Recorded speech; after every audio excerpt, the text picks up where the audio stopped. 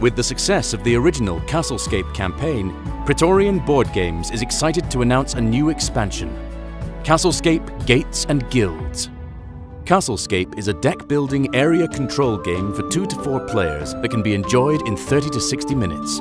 You play as guilds tasked with building a castle to appease your king. Starting with just a single wall in the center of the board, you will build a magnificent castle by the end of the game, enclosing areas of the castle and exerting influence to gain renown for your guild.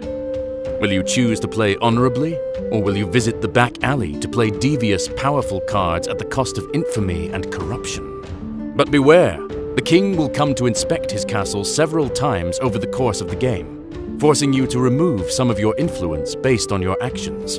Be the guild with the most renown after the final inspection and claim your reward. The Gates and Guilds expansion adds a ton of interesting new content to the Castlescape world.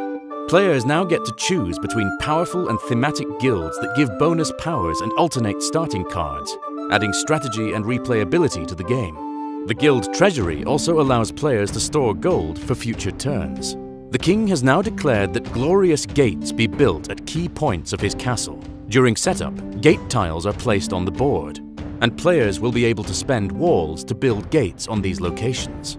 These gates will grant bonuses to any guilds who enclose an area connected to them, as well as give powerful boosts for controlling them. Gates and Guilds also includes many new market, goal, and contract cards, offering multiple mechanics to master. Additional optional content includes a solo mode, a fifth player expansion, deluxe components, and a big box to store everything. With all this added power and variability, go forth in the world and build your guild's legacy. Castlescape. Join the campaign on GameFound.